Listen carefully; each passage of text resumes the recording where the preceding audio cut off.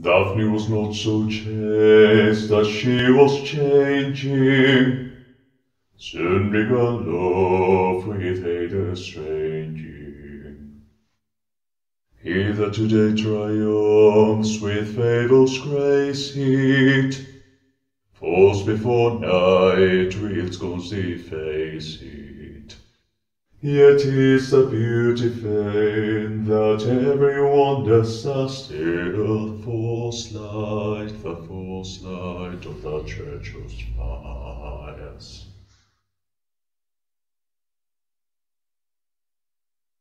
Pity the one who prays my true love you had, fancy but looks is still renewed. Not to a fruitful tree never groweth, fresh spring such endless flow Achieve the beauty fair of one consent with love flow Should live free, should live free, into pleasure.